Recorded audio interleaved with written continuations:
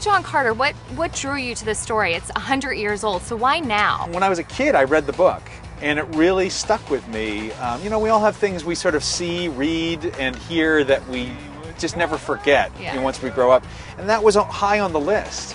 And so it was really I spent almost 30 years just as a fan, just waiting to see somebody put it on the screen. I wasn't imagining I would ever be a filmmaker or that I'd ever get to make it. It was more like I just want to pay a ticket and go see it. Earth. Us. That is Jasoom. You are on Barsoom, John Carter. Mars. When I heard this property was kind of falling apart and nobody was able to make it uh, around 2006, I kind of talked to Disney. I said, you know, I've been dying to see this on the screen for three decades.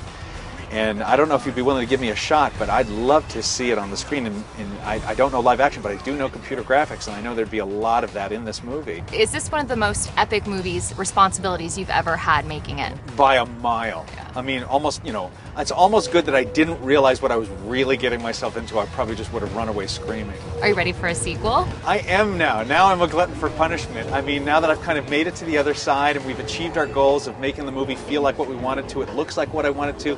And I mean, the idea of getting together again is, is really exciting. I was too late once. I won't be again.